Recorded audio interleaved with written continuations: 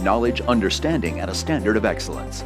That's New York State Supreme Court Judge Linda Jamieson. Justice Jamieson has received the highest rating from the bar associations throughout the 9th Judicial District. Judge Jamieson has shown not only a superior knowledge of the law, but also compassion from her time as a family court judge to her last 14 years as a justice of the Supreme Court.